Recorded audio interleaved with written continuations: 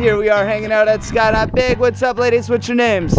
Laura, Sarah, And what are we up to? skydiving. Woohoo! Sounds pretty crazy. Are you girls ready to have the best time ever? Yeah. Let's do it. Let's do it.